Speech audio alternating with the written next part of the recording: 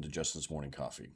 Okay, so let's return to uh, the seven basic plots. This will be Voyage and Return, Part 3. So, uh, if you haven't seen Voyage and Return Parts 1 and 2, links are below. I'd suggest you watch that first. Uh, and we're going to wrap it up. Going to wrap up the Voyage and Return plot type today so we can move on finally uh, to the quest archetype, archetype, which I'm very fascinated about. Okay, so uh, by quick review, I like to plot these out on a mountain. We've been working our way up the mountain, rags to riches, overcoming the monster, voyage and return, and we're climbing up the ladder of success. Once we get to comedy, that's the pinnacle of the first mountain, and we'll get into tragedy down into the quest valley and rebirth, and this is uh, encompassing entire an entire life cycle. That's my contention. Okay, so as a reminder, uh, we've been looking at uh, Alice in Wonderland, Wizard of Oz, Lion, the Witch, and the Wardrobe, Shawshank Redemption, The Matrix. But of course, you can see all this is a really, really rich plot type. Things that I haven't even talked about are Lord of the Flies and Orpheus and Time Machine and Gone with the Wind and uh, The Prodigal Son and Peter Rabbit. You know, so it's a very, very it, it could it could uh, take up a lot of your time uh, studying this plot type, which I think is very rich.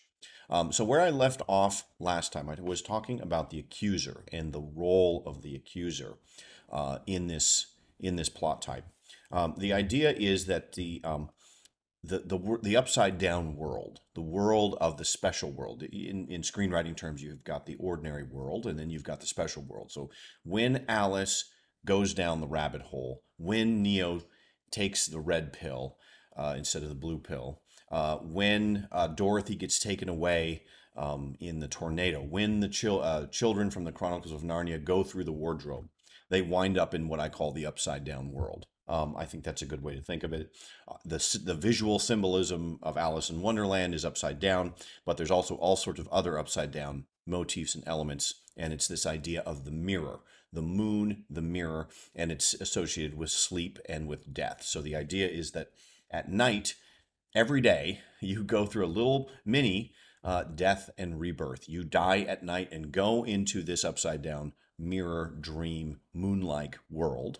Uh, and then something happens there which causes you to be renewed and then you wake up the next morning in a in a rebirth okay so that's i think what this plot type is symbolizing so you have in this upside down world your accuser antagonist, Pharaoh, uh, Mr. Mr. Smith, uh, the warden, uh, the white witch. They are all trying to keep multiplicity as multiplicity. In other words, keep it as uh, this, as a battery, as energy, as pure potential. So you can think of the the the antagonist of the upside down world, the Queen of Hearts, the White Witch, the warden, you know, all of these antagonist figures as the accuser, as the Satan figures of this plot type. And the pyramid is consisting of all of the slaves, you know, like the like the children of Israel in the book of Exodus, they are all working towards the glory and power and fame or whatever it is that uh, that these people are trying to do. You know, they they are the pharaohs of this plot type, you might say. And uh, within this world of potential, you can think of it that way. You're going down into the soil. That's where all the nutrients are. That's where all of the uh, material that we would need to sprout up is. But down there, there's competition for identity. There, there basically is the seed that goes down there going to start eating the world around it and then use that to turn that into the stock of the tree um, or is it going to be eaten by the worms? You know, and so this is why I think the Satan figure um, is seen as somebody that eats the dead, a snake that eats the dead. That's worm food. You, when you die, you become worm food. Uh, all of these symbols, all these metaphors are for this idea that down here in the upside down world, what the main danger, the main danger is that you will dissolve into nothing. That's the main danger. Okay. So Andy Dufresne. Uh, remember, we talked last time about the world tree and about how in all of these different cultures, there's this idea of going down into the underworld through the base of the tree and going down into the root system. Um, so Andy Dufresne winds up down there through through a death of some kind, just like you wind up in your dream through a death because uh, you went to sleep and now you're in your subconscious world, right? So it's the same idea. And now you're going to try to sprout up and and and grow back up and get back up to the to the up to the right side up world. Okay. Now what do I mean when I say you're in danger of losing your identity? So let's take let's let's start off with a clip from Shawshank. And this is going to be after the warden has shut down Andy Dufresne's knowledge that he's actually innocent of the crime and he has the proof of it. Uh, the warden, of course, who is, again, wanting to keep his pyramidal uh, structure intact, um, is going to push down. He does not want Andy to prove his innocence and sprout up and, and exit the, the prison. Why? Well, on a practical level, it's because he's running a scam and he's hand, having Andy launder his money. That's this idea, the battery. You know, Andy is the battery for the power of of the warden, right? He can't do his his uh, his financial schemes without Andy's expertise, right? so that's that's part of it. And the other part of it is just that all of the other multiplicity around here also wants to eat you, right? So there's competition, there's bullies down in this realm. So these guys, the warden, or not the warden, but the the guards, they're bullies. They want to push you down too you know? And so nobody wants you to go up. It's that whole you know crabs in a bucket thing where none of the crabs can climb up out of the bucket because another one will always pull it down. That's the the kind of idea. Okay. So what we're going to look at now is a scene from shawshank uh, where uh, he loses his hope and he gets put even darker in you know he's already down in the prison but now he's going to go into the deep dark death the mouth of the snake hole uh, the actual hole uh, in in the prison and you can see, okay, it's his identity that's at stake. Who is he? Is he going to dissolve into nothingness? So let's take a look at that. Solitary, a month. Yes, sir. Hi. What's the matter with you? It's my life. Don't you understand? It's my life. Get him out. Get him out. It's out. my life. A month in the hole. It's the longest damn stretch I ever heard of. You didn't pull the trigger, and you certainly didn't convict him. Well, you saying that Andy is innocent? Well, it looks that way. Sweet Jesus. Edward. Yeah. Board of Education. Son of a bitch mailed it. Come on, will you throw that away, please? No. Ready? Well, shit. The kid passed. C plus average.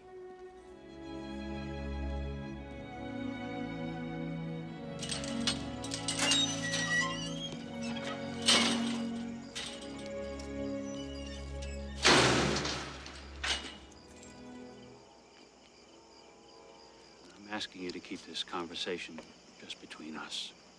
We got a situation here. I tell you, son, this thing really came along and knocked my wind out. The right thing to do. Hard to know what that is. I need your help, son. There can't be the least little shred of doubt. I have to know if what you told Dufresne was the truth. Absolutely.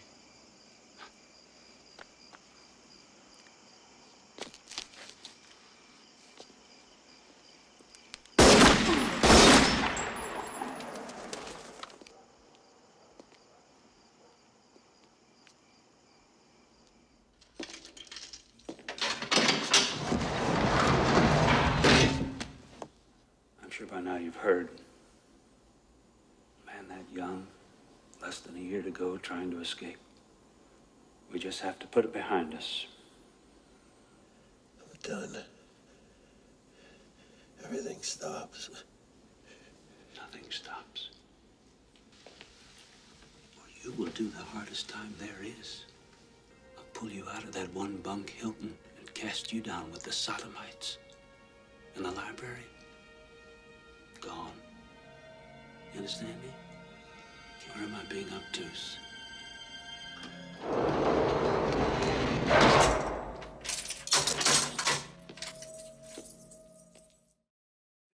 Hmm. Wow. Very interesting. So, the accuser, remember, um, Andy's going down. There's two two levels of eating here, and I, that's why I think this symbolism of the snake that eats the dead is so apt. Remember, Andy goes down here and he starts polishing the rocks, polishing the rough hewn, uh, pure potential rocks into identifiable pieces. So he's putting identity into formless matter. That's what he's doing, right? He's he's tur- turning formless and void, tohu wabohu matter, into chess pieces that have names. So that's how you go from nothing to something or from nobody, no one to someone. And so he's trying as the seed here, right? He needs to eat the people around him and gather them in to his unity and have them grow up with him. So you notice he wants to get the, the high school diploma uh, for this other prisoner by using the music, education, reading, the library. All of that is designed to turn these prisoners into uh, into people, and so that they can grow up and, and and get out of the underworld as well. And it is the accuser, the warden, who who eats these people. So if you see that scene where he's talking to Billy, and then the guard shoots him, that's him eating Billy. Okay, so it, Andy was trying to eat him in in in the sense of I'm going to educate him. I'm going to uh, uh, turn him into to a, a normal citizen, you might say. Or is the accuser going to do it? Okay, so that's what goes on down in the underworld. Is this, you know, are you going to gather people into you, or are you going to have them ripped away and eaten by this serpent here? And so when he winds up in the hole, remember the first time he was in the hole, he had Mozart in his head, and he said it was the easiest time I've ever done because he had Mozart in his head.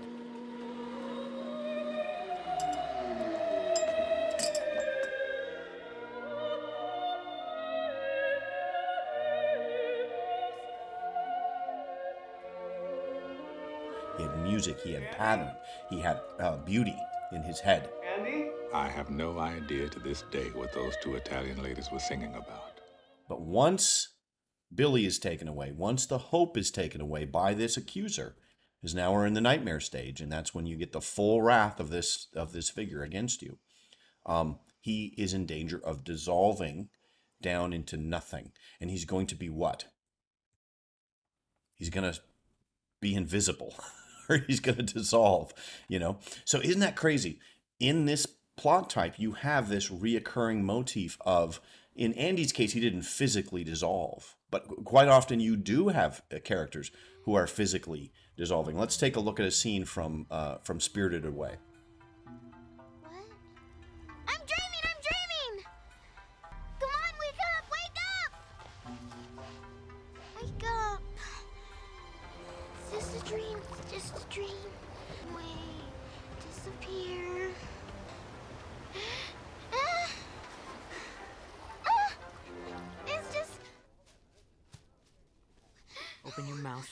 This. You have to eat some food from this world, or else you'll disappear. Chew it and swallow. There you go. You're all better. I'm okay. You see?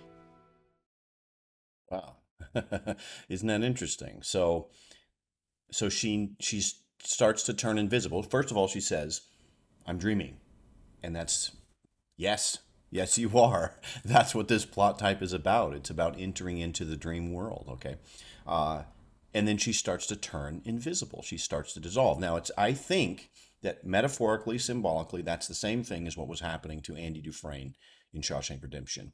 The identity, of course, in Spirited Away, it's all about names, remembering your name, forgetting your name. The Queen of the Underworld takes your name.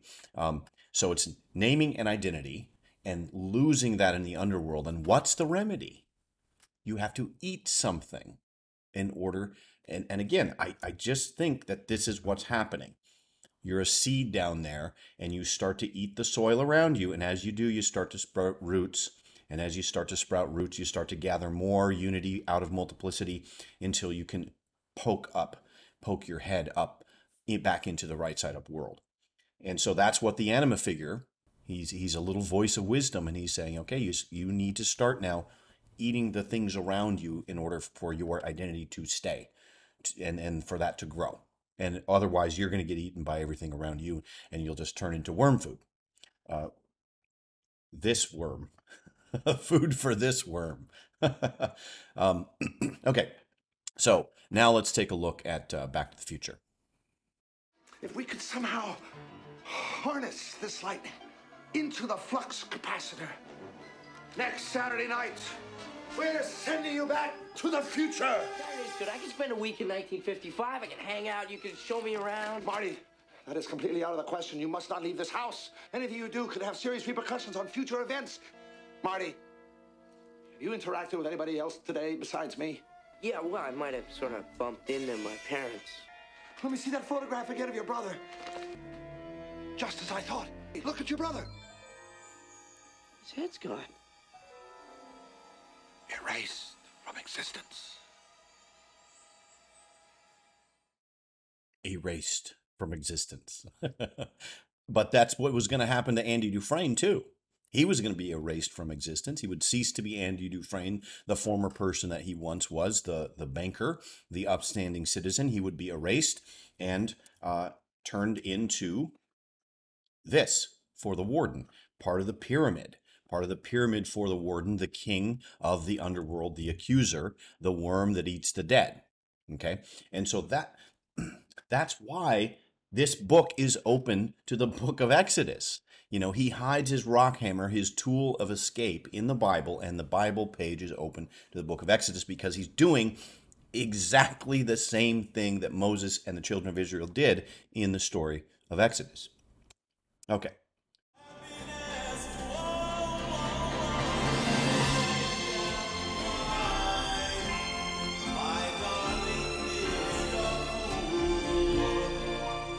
And isn't it funny that the name of the dance is the Under the Sea dance, right? So again, it's this world, this notion uh, that even Robert. Look, I don't even know if Robert Zemeckis did this on purpose.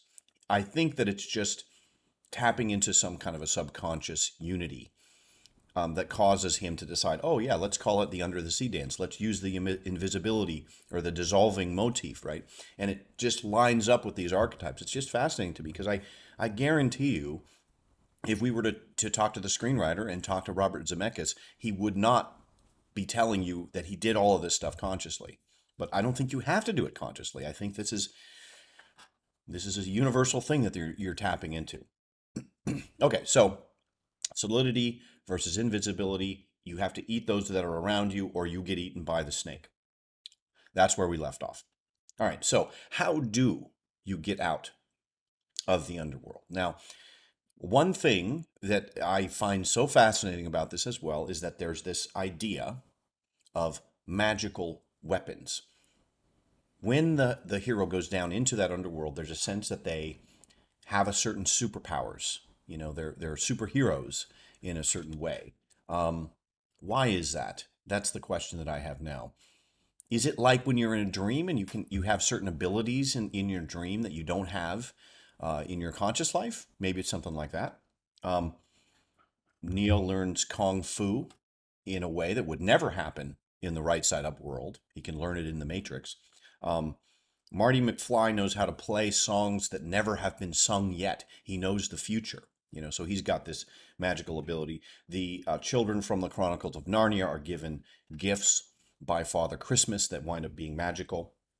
Um, even in Castaway, you know, he he finds remnants, little little little things from the from the from the the land, from the upper world, from the right side up world, like these skates He's living in a world that has no technology, but yet he gets these little, little magical weapons, these little gifts the, um, from the world of the right side up, from the world of civilization in this case.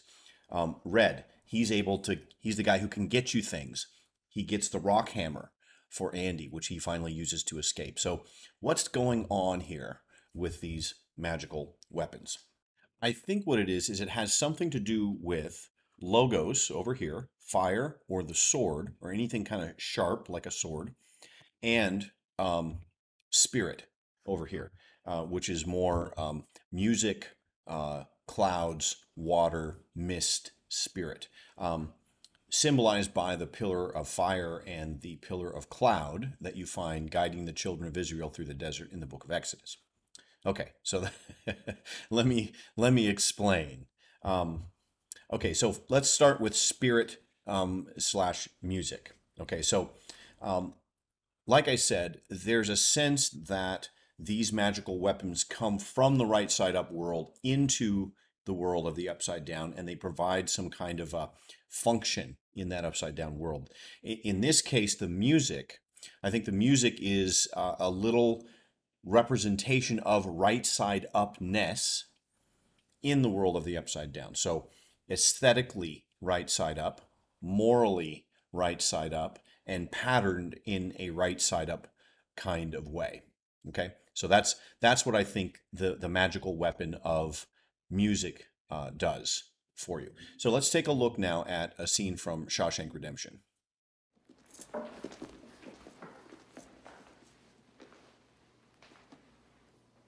take it. Dear Mr. Dufresne, in response to your repeated inquiries, the state has allocated the enclosed funds for your library project. This is two hundred dollars. The library district has generously responded with a charitable donation of used books and sundries. Please stop sending us letters. Good for you, Andy.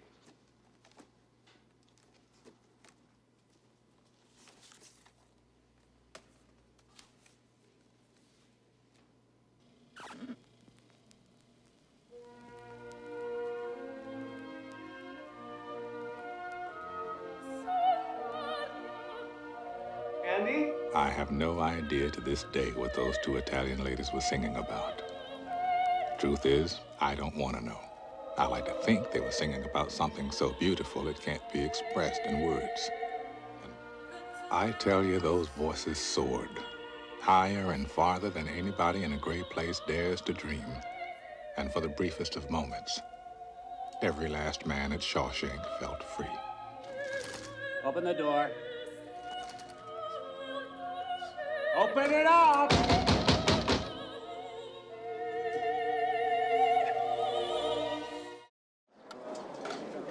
Hey, look who's here. Maestro. Hey. They broke the door down before I could take requests. Was it worth it? Two weeks in the hole? Easiest time I ever did. Right, a week in the hole is like a year. Damn straight. I had Mr. Mozart to keep me company. He's in here. In, in here. That's the beauty of music. They can't get that from you. Didn't make much sense in here. Here's where it makes the most sense. You need it so you don't forget. For- Forget that there's something inside that they can't get to, that they, they can't touch. What are you talking about? Hope. What are you talking about, Andy? What is he talking about? Hope is what he says. But let me submit to you that he is talking he is talking about this.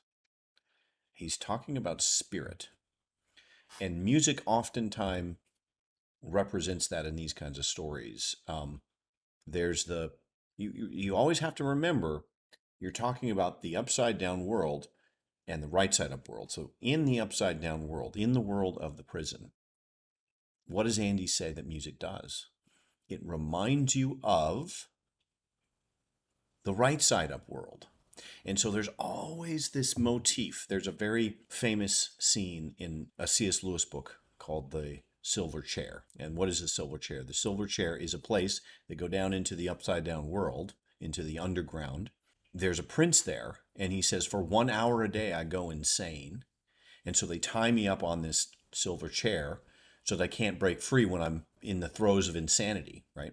Well, it turns out through the story that you find out that that's actually he's living in an, in an insane world.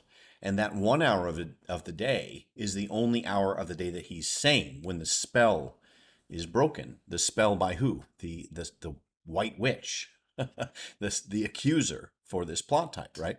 So in this case the warden of course wants everybody to be hopeless wants everybody to be insane uh, or upside down um, and not to remember the right side up world. Now, the motif that you find in the Bible, I, I said that this relates to the book of Exodus, but if you think about the Spirit, the Holy Spirit in the New Testament, coming into your heart. What's he say? It's in my head, it's in my heart. You can't take that away. I was there in the hole, in the depths of death, like Jonah in the belly of the whale, and I had the song. What happens in the story of Jonah when he goes into the belly of the whale? Very famously, he sings a song. so the song, the music, it, it has this spirit of the right side up world. And remember, he also says memory.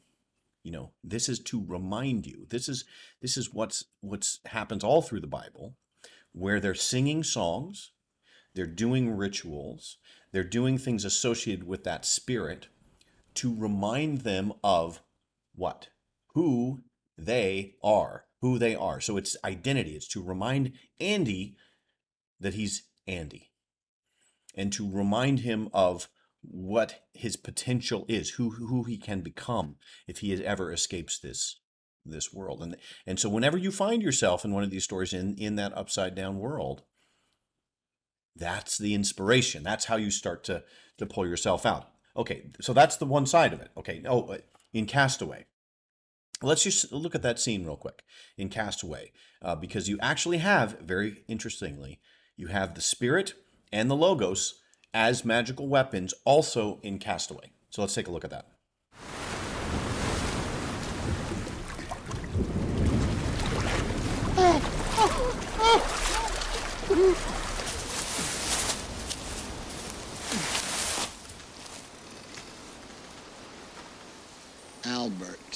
R. Miller.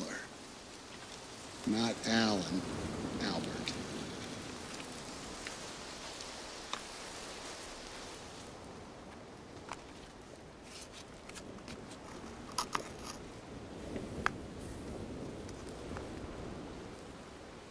So that's it.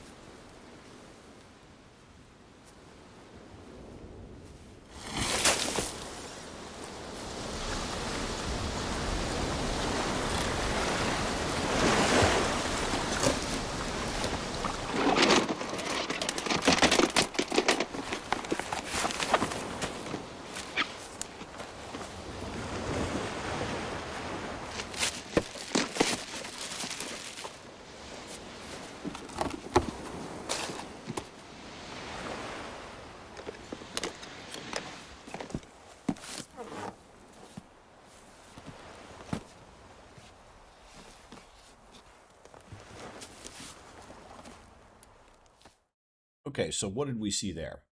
Um, so first of all, uh, you see the same uh, setup as in Shawshank, um, where you have the death of someone, uh, and notice that he didn't know his name. So again, death and loss of identity, loss of name, all of those things are related. So Alan, who he thought was a, a different person, um, dies, and he buries him, and then he writes his name. This is he still has the identity. He still has the right side up world, the identity of the right side up world. This is also symbolized by the fact uh, that he doesn't open all of the FedEx packages. He covers them, uh, covers them with the uh, the plastic from the inflatable raft. Why? it's because he thinks maybe he's going to still do his job. He's going to get rescued, and he's going to still deliver those packages. He still has that that identity from the other world, just like Andy Dufresne has the still the identity of the banker from the other world. Um, but then what happens is he gets turned back by the storm. Uh, he gets knocked down by the antagonist, which in this case is nature itself, um, which wants to eat you and dissolve you just like the dead man that he finds, that winds up becoming, uh, once again, that motif of worm food, right? Eating the dead. Um, and so he needs something the same as Andy does a little bit of music, a little bit of spirit, a little bit of wind to come along and give him what? The same thing Andy needs a little bit of hope. So he does not open this package with the wings on it. And now you'll see a, a motif in Castaway where you can literally uh, follow these wings uh, as they take him uh, back to the to the normal world off of the island. Um, so, so I think that's kind of what's going on. Now, that's the one side of it. That's the spirit side. Now, I think what you have to also think of it as is uh, um, a bolt of lightning coming down, just like in the clock tower of Back to the Future.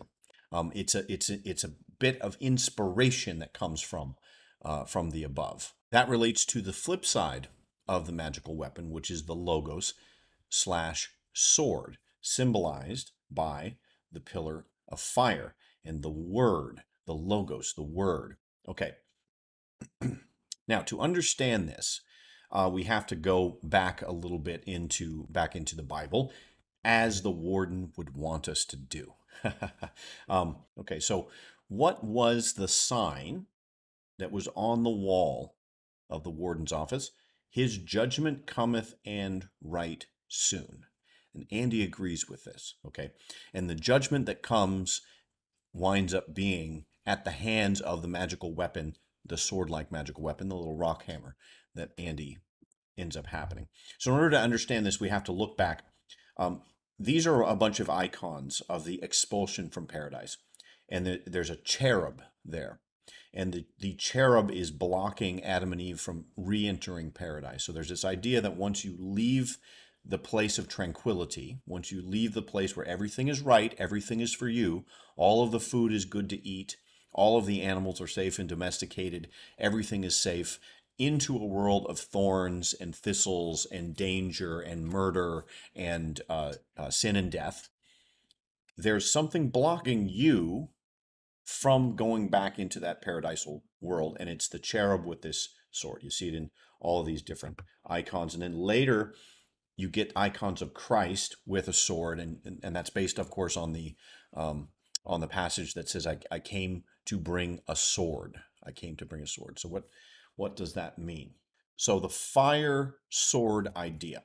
Now, the Old Testament word for sword is cherub, actually.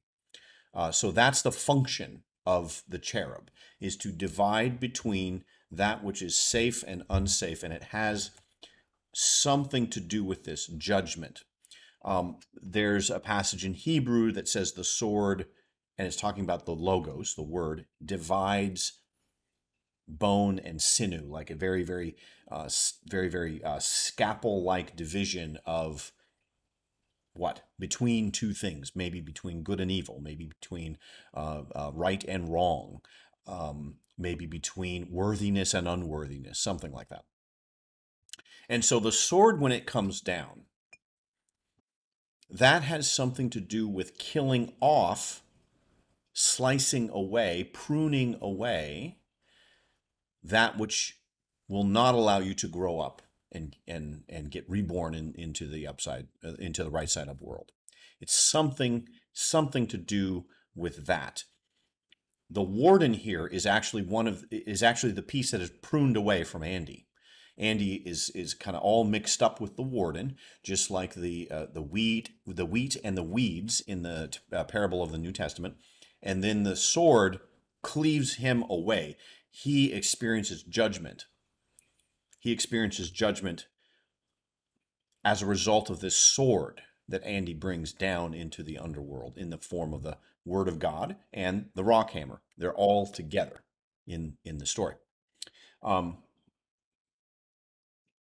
so let's take a look first. I, I think you, you you know the story of Shawshank Redemption. I don't think I need to necessarily show that because um, I showed it in the last video. But let's look actually at Castaway and see what is the sword, what is the Logos magical weapon in Castaway.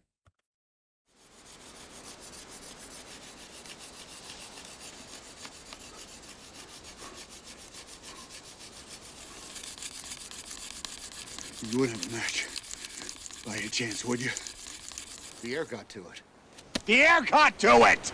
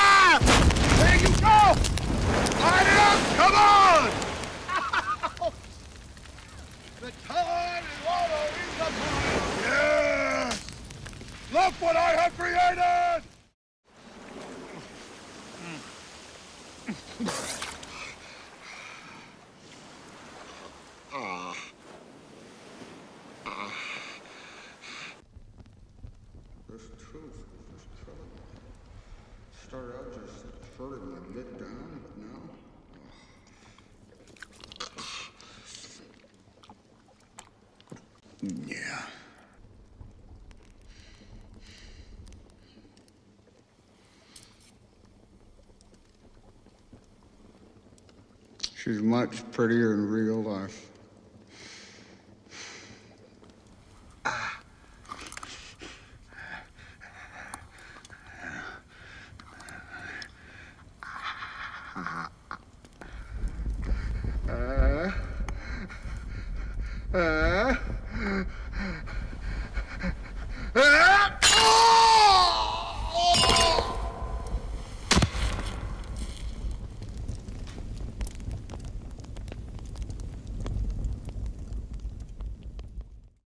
Okay, so what did we see there?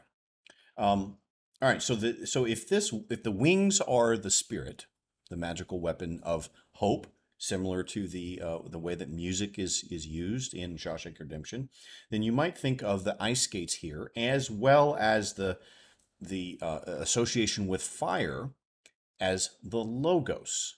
Okay, so what what do we mean by that? Okay, so um, basically the sword, the cherub, um, in the Bible is used as a, as an instrument to separate um, life from death, you might say. So w- when when he first opens the package there, one of the packages is a dissolution of divorce, a dissolution of marriage, so divorce papers. Okay. The the person that Tom Hanks's wife in this uh, Helen Hunt winds up marrying is the dentist. Uh, the toothache, uh, so it's it's really no not hard to see that the filmmakers mean for the toothache to represent the decaying relationship between Helen Hunt and the Tom Hanks character, you might say. Okay, so the the ice skates now, this little piece of technology that divides and separates and cuts from the upside down, uh, from the right side up world into the upside down world, um, is used to finally kill off the old Chuck, you might say, the one that is represented by that toothache. So it's a it's a uh, it's a pruning metaphor, and the fire uh, and Wilson, you know, you it's it's it's the same idea as the sword. The purifying fire, the fire burns away that which is unpure, that which is does not belong to your identity, that which is not part of you, and refines you away so that you can grow up into the person that you're supposed to grow up into. You're the seed, and you need to be pruned, you need to be refined, et cetera, et cetera, et cetera. And so the the fact that um, you know Wilson here presided over the invention of fire in Chuck's world, um, and then the fire itself uh, um, becoming a, a, a motif and a theme in this. Immediately following that, you have the ice skate, the sword, lopping off the old, uh, you know, cutting away uh, the old Chuck. Um, so, so that's kind of the the the idea. Now let's let's take a look at uh, Shawshank Redemption and the use of the ice pick um, uh, to see uh, uh, the parallels there. I understand you're a man that knows how to get things. I wonder if you might get me a rock hammer. What? Well, if it was a toothbrush, I wouldn't ask questions. I'd just quote a price. But then a toothbrush is a non-lethal object, isn't it? Rock hammer's about six or seven inches long. Looks like a miniature pickaxe. So I'm a rock hound. Or maybe you'd like to sink your toe into somebody's skull. I have no enemies here. Wait a while. And it was right. I finally got the joke. It will take a man about 600 years to tunnel under the wall with one of these. Your friend, here's your book.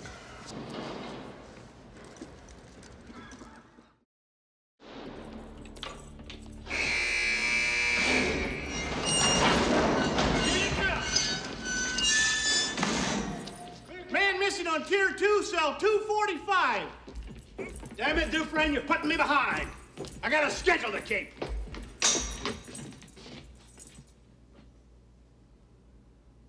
Oh, my holy God. What do you mean he just wasn't here? Don't. Am I blind, Haig? No, sir. Lord, it's a miracle! Man up and vanished like a fart in the wind. This is a conspiracy. And everyone's in on it.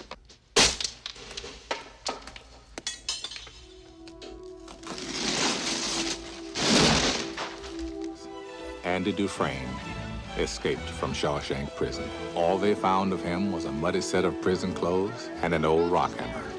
I remember thinking it would take a man 600 years to tunnel through the wall with it. Old Andy did it in less than 20.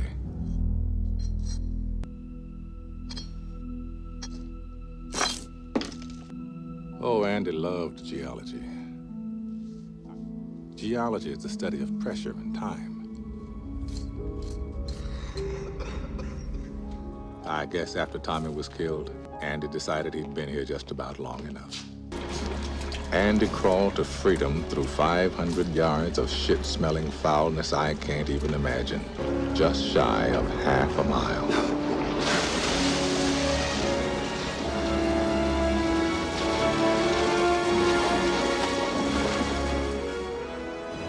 The next morning, a man nobody ever laid eyes on before strolled into the Maine National Bank. Until that moment, he didn't exist, except on paper. He had all the proper ID, and the signature was a spot-on match. Mr. Stevens visited nearly a dozen banks in the Portland area that morning. Severance pay for 19 years.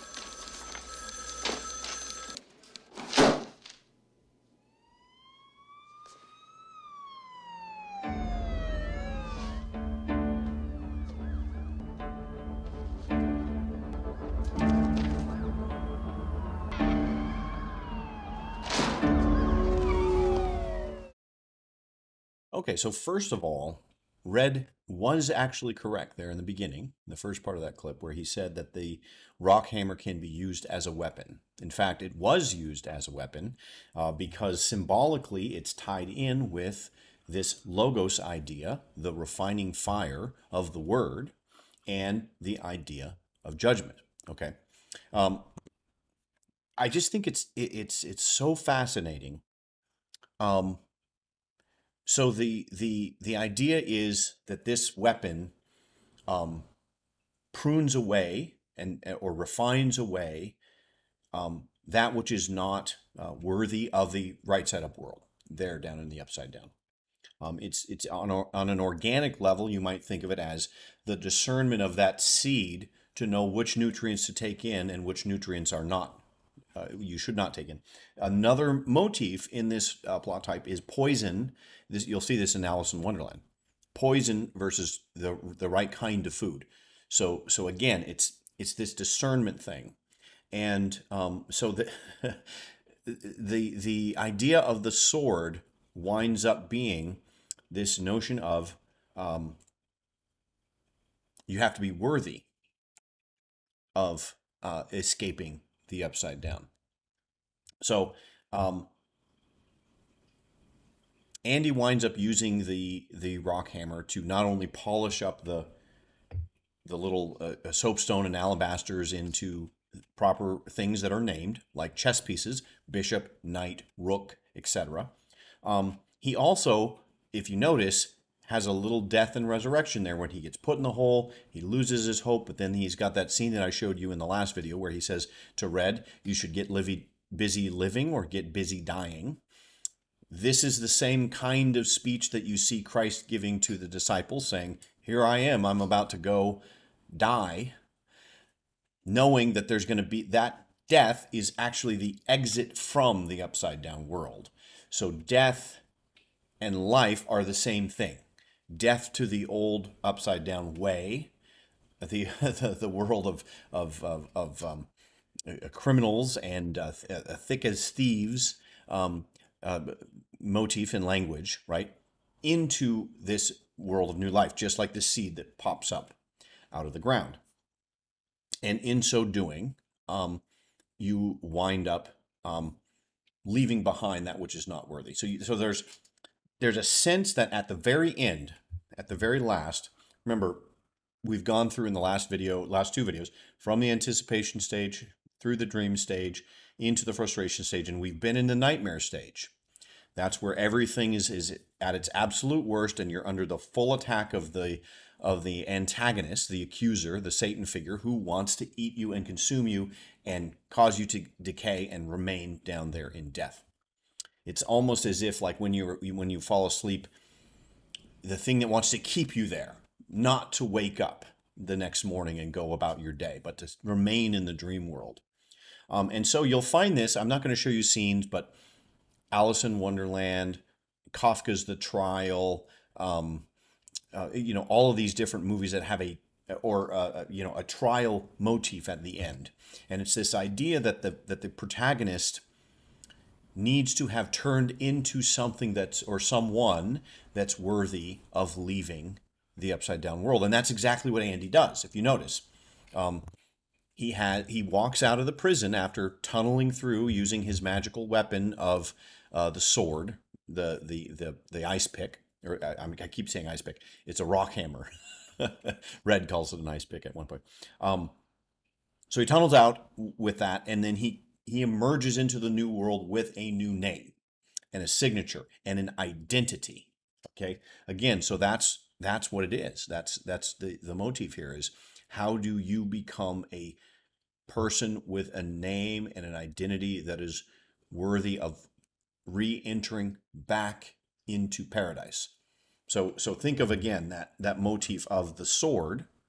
Oh sorry i'm not showing you the the sword here uh, that is dividing Adam and Eve after the uh, consuming of the wrong thing, consuming of the poison, you might say, both in thought and literally with the uh, with the fruit from this world of paradise. And then the story then is how do they they need another sword on this end to cleave away that which is not worthy from them so that they can go back in. I mean, on, on, on a very simple level, uh, you understand this principle.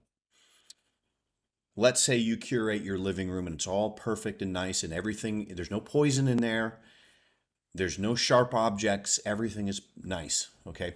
And you go out into the world and you acquire all this mud and sharp objects and everything out there working in the world. And then you want to go back into the living room, but you don't take off your boots and you're going to track all this mud through the living room. Just a simple, simple, simple metaphor like that. Obviously, there's a sense that you cannot have that paradise, that clean living room, without cutting off the death from you before you enter back in. That's why you have to shed those outer layers of protection that you use when you went outside when you go back inside. That's why you have to take off your boots. That's why you have to have a mud room in your house if you live in a place where it rains a lot. I mean, it's it's really I think that simple of a of an idea of a metaphor. Um, okay, so now I'm going to show you the end of Castaway, and we're going to wrap this up. So the final escape from the upside down. We just saw Andy Dufresne do it. Okay, and and there's a sense that you can understand this notion of the trial. Um, at the end of the Gospel of John, the, in the story, Christ gets put on trial by Pontius Pilate and the Sanhedrin. But if you read that story closely, you'll see that slowly, slowly things are shifting around and shifting around. Where by the end of the scene, you realize that it's actually Christ who's putting them on trial, not them putting him on trial. And it's very genius the way it was written and the way it, it, it unfolds in the drama of that story. And I think that's the same thing that's going on here is that um, the, the world of the upside down needs to be put on trial. And that's what happened with the warden and Andy Dufresne. Andy Dufresne was this. He was the one who had the sword, and he was the one bringing judgment. And then the warden, of course, was uh, uh, fell under the sword of judgment in the in the story, um, because Andy proved himself worthy of living in the right side up world. He did not sin. He was the only innocent man in Shawshank, and so that allows him to be to redeem the only guilty man in Shawshank and also to condemn the powers and principalities of that fallen world. You might think of it that way. Okay, but how now and I'm telling you, just go and watch the end of all of these movies there's going to be a trial scene. And that's what's going to happen. It's the queen of the underworld that's going to wind up being condemned by the trial, not Dorothy or not um, not uh, Alice in Wonderland. Okay, and it's it's it's the upside down world that gets put on on trial as long as the hero is worthy. Okay, so how does that happen in Castaway? So I'm going to show you the end. Remember, the the wings here represent the spirit and they represent hope. They represent the same thing that music represented in Shawshank Redemption. And then when this uh, little bit of the outhouse shows up, and he looks at Wilson, he says, "Yeah, this could work." What does he do? He turns it into a sail, and he uses that hope, the same as Andy used the hope of the music and the hope of the Zihuatanejo to escape. And it's interesting, isn't it, that Andy, according to Red, had to crawl through shit through that sewage tunnel in order to emerge. What's this? This is an outhouse. He has to use the shit and crawl through that in order to get over the waves of, of, of chaos that are trying to force him back into death, into the island, right? Uh, so I, I just uh, I can't believe how how these how these motifs just keep coming up and coming up. Similarities. The more you look for them, the more you find. Um, okay, but now I want to talk about this. This is this is the whale, the eye of the whale. So let's let's watch the scene and uh, and then we'll discuss.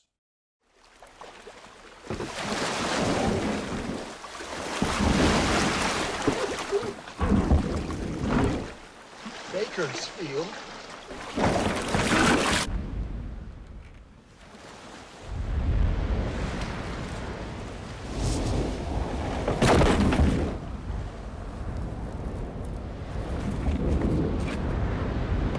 This could work. Two, 44 lashings. 44 lashings, so. Wilson, we're gonna have to make a hell of a lot of rope. I know. Yeah, I know. I know where there's 30 feet of extra rope. But I'm not going back up there.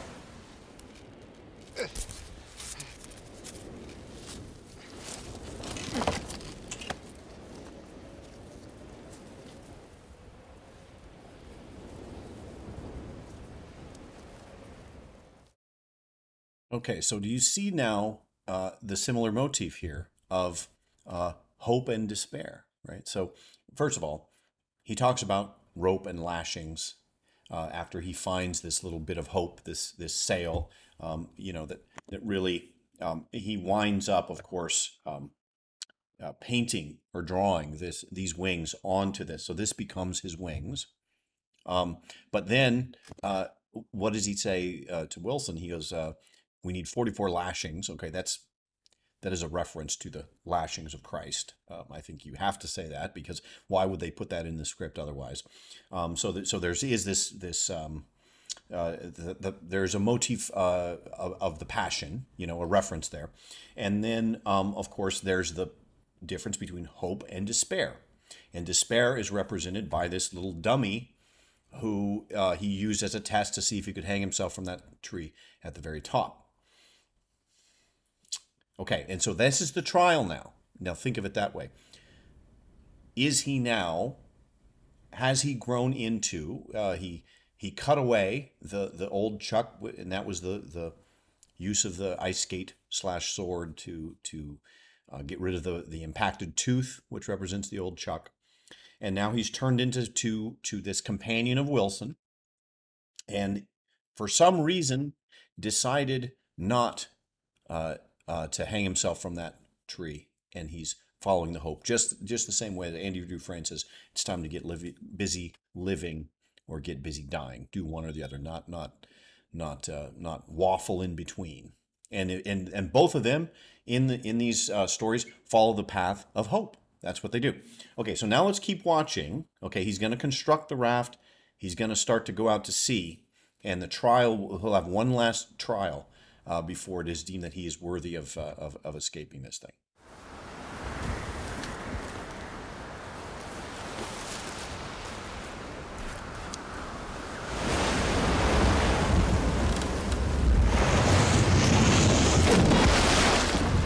Here we go, Wilson. You don't have to worry about anything. You just hang on.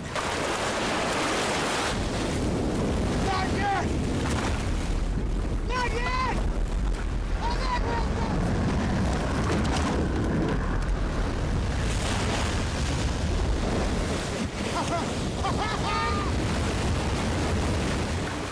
It!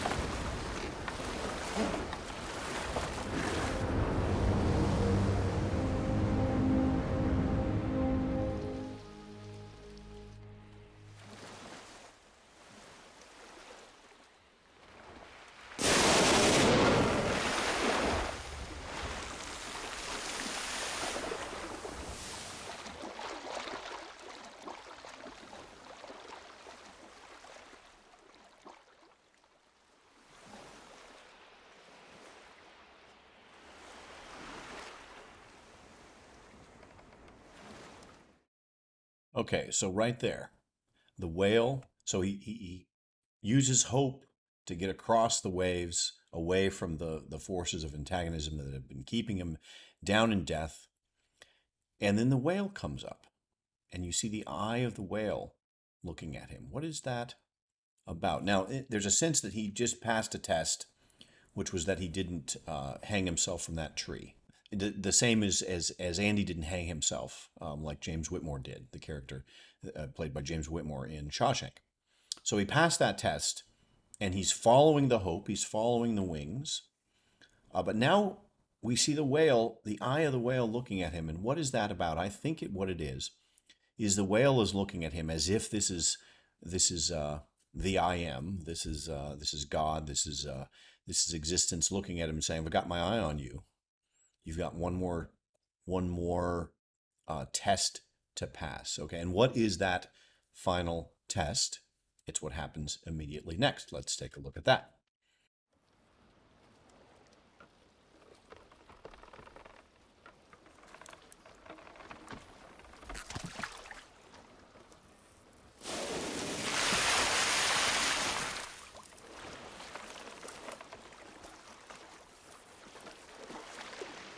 Wilson, where are you?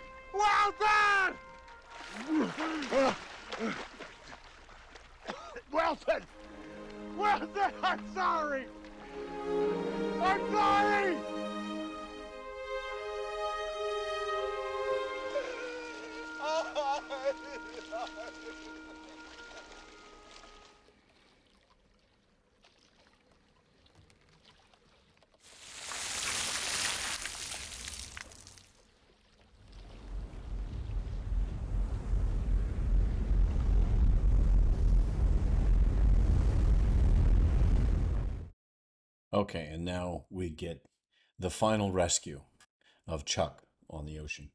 Um, so what what were we seeing there? Why have a scene where Wilson the ball the volleyball, his imaginary friend, floats off and he has a big temper, tantrum and and and cries and and and everything.